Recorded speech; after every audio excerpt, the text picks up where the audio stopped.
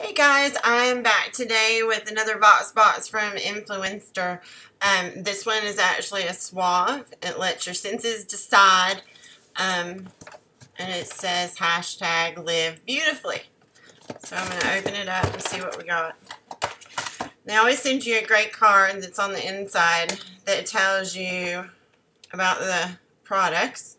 It says Suave Essentials body lotions provide 24-hour moisturization with long-lasting, delightful fragrances. These scented lotions are a good-for-you indulgence crafted with delectable ingredients and rich fragrances for an uplifting sensorial experience that you and your skin will love. I love lotions. I'm not sure how you guys are. Yeah, all sticking out. Oh, other side. Suave deodorant perspirant products have inspiring, uplifting fragrances and odor protection to keep you smelling fresh and beautiful all throughout the day. Our 24-hour extra effective protection goes on smooth with no messy residue. I don't use Suave, but they sent me the clinical protection, which is going to be great because it's almost 90 degrees here in North Carolina today. So it's going to be hot, hot, hot, hot before long. So I'm looking forward to trying out these products. You guys let me know if you currently use Suave Clinical Protection, the 24-hour. This is Lavender Fresh. I love the way lavender smells.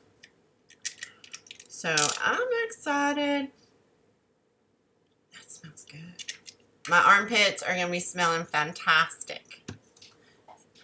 Sam. There's my kitty cat, y'all. You see him? Look. Ooh, ooh, ooh, ooh, ooh, ooh, ooh. Sam! And then the last but not least is the Suave coconut, tropical coconut that they sent me.